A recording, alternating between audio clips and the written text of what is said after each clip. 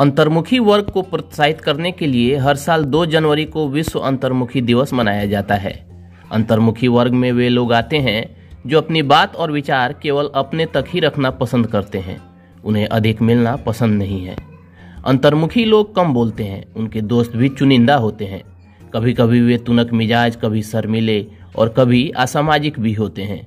कभी वे अपने मन की बात को दूसरों के सामने आसानी से नहीं रख पाते तो कभी औरों से बेहतर तरीके से समझाते हैं।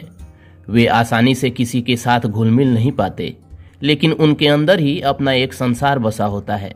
इन सभी के बावजूद अंतर्मुखी लोगों में कुछ बातें बेहद खास होती हैं, जो उन्हें दूसरों से अलग बनाती हैं। आज के इस वीडियो में जानिए, क्या है वे खास बातें। भले ही अंतर्मुखी लोग कम बोलते हैं, लेकिन उनमें आत्मविश्वास की कोई कमी नहीं होती। बल्कि उन्हें दूसरों की अपेक्षा खुद पर ज़्यादा भरोसा होता है। वे अपने निर्णय के लिए दूसरों पर निर्भर नहीं होते और यही कारण है कि वे अच्छे या बुरे परिणाम के लिए किसी और को दोषी भी नहीं ठहराते। वे अपनों से बहुत प्यार करते हैं, लेकिन अकेले समय बिताने में भी उन्हें कोई परेशानी नहीं होती। बल्कि ऐसे समय में भी वे समय का सदुपयोग करना अच्छी तरह से जानते हैं।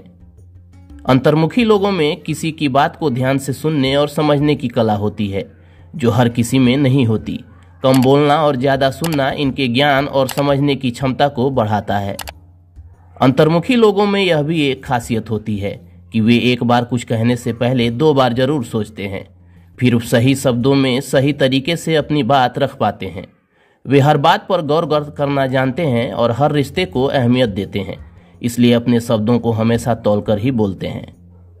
इस तरह के लोग आदर्शों के लिए किसी का मुँह नहीं ताकते। बल्कि खुद ही स्वयं के लिए आदर्श बनते हैं। वे सकारात्मक गुणों को अपनाकर खुद को तराशते हैं। उन्हें खुद को प्रोत्साहित करने के लिए हमेशा किसी की आवश्यकता नहीं होती।